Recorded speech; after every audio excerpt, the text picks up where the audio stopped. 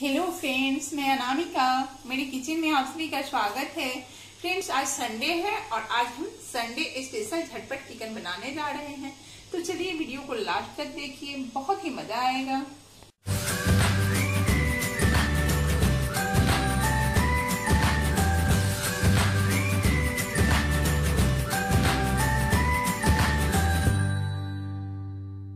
सबसे पहले हमने गैस पे एक कुकर रख लिया है। कुकर को हमने गरम कर लिया है। अब उसमें हम डालेंगे तेल। तो यहाँ पे हम सरसों का तेल यूज़ कर रहे हैं। हमें एक किलो चिकन बनाना है। तो हम ये दाल वाली कड़छी से चार करछी तेल डालेंगे। यही मेजर सही होता है चिकन के लिए।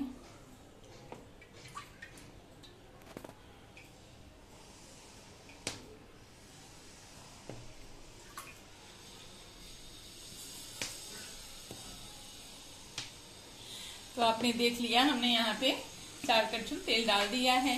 गैस पे हम इसे अच्छे से गर्म करेंगे, यानी इसमें से स्मोकिंग जैसा फ्लेवर आना चाहिए, उतना हमें गर्म करना है। तो आप देख सकते हैं, अपने तेल से हल्का हल्का धुआँ जैसा आने लगा है। राई का तेल हो तो उसे अच्छे से गर्म करना बहुत ही ज़रूरी होता है। इससे क्या होता है, उसका कड़वा दूर हो जाता है और ये बड़ा सुंदर टेस्ट देता है। तेल अपना अच्छे से गर्म हो चुका है। अब हम इसमें डालेंगे खड़ी इलायची, यानी कि हमने चार खड़ी इलायची लिया है। बड़ी वाली जिसे हमने तोड़ रखा है, उसका मुँह खुल चुका है। दो हम दालचीनी स्टिक लिए हैं, छह से सात तेज पत्ती लिए हैं, दस बारह लौंग, बारह पंद्रह अपनी काली मिर्च है। इससे चिकन बहुत ही टेस्टी बनता है। तो अब हम इसे गरम तेल में डालेंगे। ध्यान रहे, इस टाइम हमने फ्लेम स्लो कर दिया है, नहीं तो अपना फोरन जलने लगता है। लास्ट में इसमें हम दो चम्मच जीरा डालेंगे। ये साबुत जीरा है। चिकन में जीरा पड़े तो बहुत ही सुंदर टेस्ट आता है। तभी फोरन से चटकने की आवाज़ आने लगी है।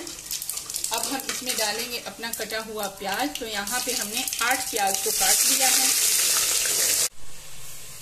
अब हम इस प्याज को चलाते हुए करीबन सात से आठ मिनट तक भूनेंगे ध्यान रहे, इस बीच हमें फ्लेम स्लो करना है फास्ट करना है। लेकिन जब तक अपनी प्याज सॉफ्ट न हो जाए, तब तक हमें इसे भूनना है। आप देख सकते हैं, अपनी प्याज जो है सॉफ्ट हो चुकी है। इस स्टेज पे हम डालेंगे जिंजर गार्लिक का पेस्ट तो यहाँ पे हम भर भर के चार चम्मच जिंजर गार्लिक का पेस्ट डालेंगे। एक पाव के लिए एक चम्मच इनफ होता है। तो हम एक किलो बना रहे हैं तो चार चम्मच यूज़ कर रहे हैं। अब हम प्याज के साथ इसे भी पाँच मिनट तक अच्छे से भूनेंगे। बहुत अच्छी खुशबू आनी चाहिए प्याज लहसुन अदरक से। तब तक हम भूनेंगे। आप देख सकते हैं, अपना प्याज, लहसुन, अदरक अच्छे से भून चुका है। अब हम इसमें कुछ पाउडर स्पाइसेस ऐड करेंगे। यहाँ पे हम दो चम्मच हल्दी डालेंगे।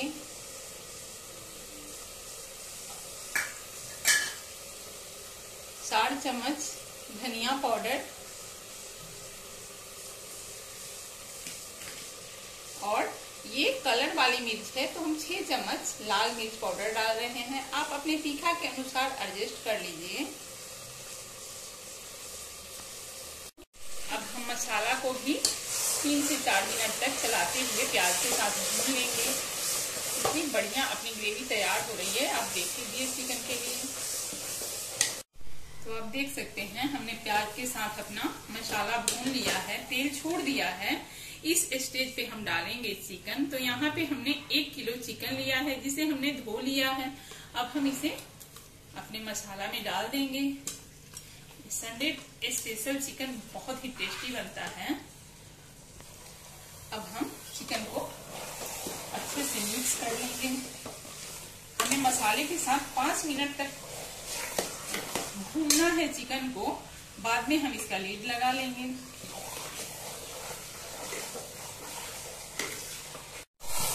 चिकन को हमने पाँच मिनट तक भून लिया है। अब हम इसमें स्वाद के अनुसार नमक डालेंगे। नमक को अच्छे से चला लेंगे। अब अपनी चिकन पानी छोड़ेगी। उसी के साथ हम लीड लगा के इसे 10 मिनट तक पकाएँगे। 10 मिनट तक अपने चिकन को भूना है नमक डालने के बाद। तो आप देख सकते हैं कितना लिक्विडी जैसा अपना चिकन हो गया है। इस स्टेज पे हम लीड लगाने जा रहे हैं। तो चलिए हम इसका ढक्कन लगा देते हैं। स्लो फ्लेम पे हमने एक भी सिल आने तक चिकन पका लिया है। अब हम लीड को खोल के आपको दिखाते हैं। आप देख सकते हैं कितनी बढ़िया अपनी चिकन में तेल तैर रही है। ये अच्छे से पक चुकी है। तो चलिए हम एक बार आपको मिक्स करके दिखा दे रहे हैं। आप देख सकते हैं हमने अलग से पानी नहीं डाला था। अपनी प्याज गल के चिकन के पानी के साथ कितने अच्छे से यानी कि पक चुकी है। अपनी चिकन बिल्कुल पक चुकी है। हमें इसे कुछ नहीं करना है अब सर्व करके एंजॉय करना है। तो चलिए हम गैस को ऑफ़ कर लेते हैं और 10 मिनट बाद सर्व करके आपको दिखाते हैं। चलिए चिकन की प्लेटिंग कर लेते हैं। तो हम आपको चिकन दिखा दे रहे हैं। देखिए कितनी बढ़िया अपनी संडे स्पेशल चिकन बनके तैयार हुई है। तो फ्रेंड्स आपने देख लिया संडे स्पेशल झटपट चिकन बनकर कैसे तैयार हो गया। खाने में तो ये बहुत ही लजीज लगता है। तो आप भी बनाइए और मेरे चैनल को लाइक, सब्सक्राइब और शेयर ज़रूर कीजिए।